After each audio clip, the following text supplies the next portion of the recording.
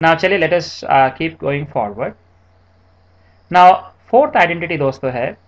कि अगर आपको x plus A times X plus B दी जाती है so this basically X square plus A plus B X plus A B now दोस्तों to be very honest with you this identity sometimes कभी कभी आप देखोगे it is hard to remember this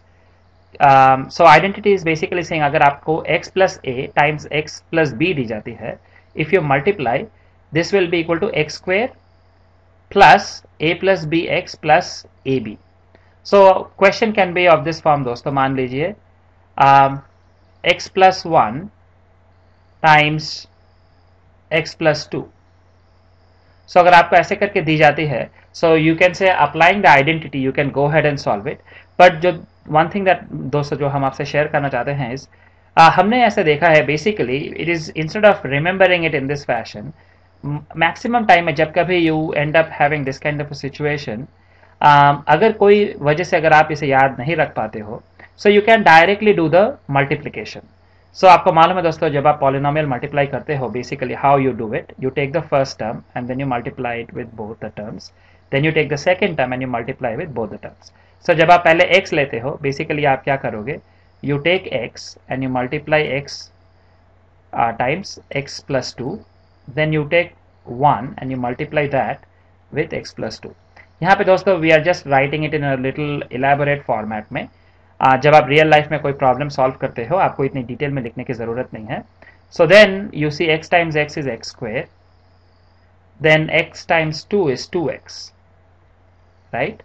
plus one times x is x plus one times two is two so ये बन गई दोस्तों x square plus x की term को you can add it so two plus one x will be three x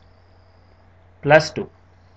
so अगर आप इसे multiply करते हो दोस्तों x plus one times x plus two you will get x square plus three x plus two now अगर आप you know so this is दोस्तों, हमने देखा है from a real life standpoint it is easier to actually perform the multiplication and come up with this but अगर आप इसे याद रख सकते हो so that is that will be you know very nice as well um, you can also see basically it is the same thing यहाँ पे this is your question so this is equal to x square right so this इसे आप लिखते हो x square plus a plus b a plus b a है आपकी 1 b है आपकी 2 a plus bx plus ab plus ab if you multiply ab you will get 2 यानी अगर आप इसे सॉल्व करते हो you will get x square plus one plus two is three three x plus two so आपको you will get the same result दोस्तों. So whether you go this way और you go this way because ये एक identity है it will be nice अगर आप इसे याद रख सकते हो. बट लाइक आई सेड अगर आप इसे याद नहीं रख सकते हो so just perform the actual multiplication you will come with the same result Now दोस्तों we will talk about the last identity, identity number 5 uh, in this presentation. So ये है दोस्तों now अब तक हमने we were looking at two terms x plus y whole square x minus y whole square x square minus y square x plus a times x plus b right यहाँ पे दोस्तों we are taking three terms for the first time. So the this identity दोस्तों is very important. Uh, आपको ये format याद रखनी है दोस्तों So x plus y plus z whole square will be x square plus y square plus z square plus 2xy, 2yz and 2zx. So if, this is very important also for you to remember this. Um, एक और चीज that may help you is uh, जब आप ऐसे तीन number को लेके whole square करते हो the result will basically have there will be three terms which will be a whole square x square plus y square plus z square and then you will have three product terms दोस्तों so you can think about it this way so so now इसके ऊपर applications दोस्तों you will get something like मान लीजिए um, so you may be asked कि find out the value of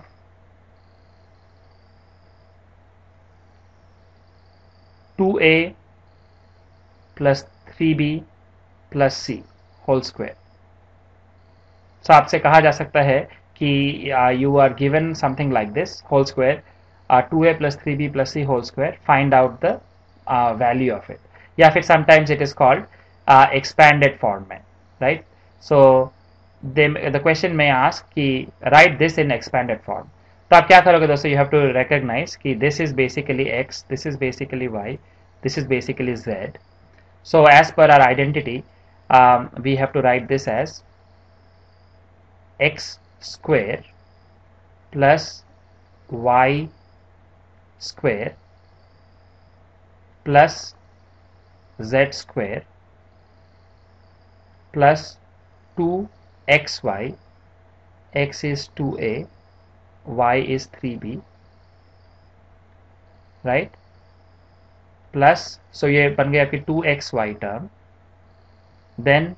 2yz so y है आपकी 3b and z है आपकी c. Plus 2xz 2a times c. So यहाँ पे दोस्तों you just have to make sure कि आप इसे फॉलो कर रहे हो and because this is very long that आप कोई सिली uh, मिस्टेक नहीं करते हो. Now you expand it so two a whole square will be two a times two a which will be four a square ये बन जाएगी four a square plus three b times three b will be nine b square plus c square plus ये जो term है दोस्तों if you multiply two times two is four times three is twelve twelve a b plus now 2 times 3 is 6 6 BC plus 2 times 2 is 4 4 AC so so, दोस्तों ये बन गई आपकी expanded form this this entire thing is the expanded form for this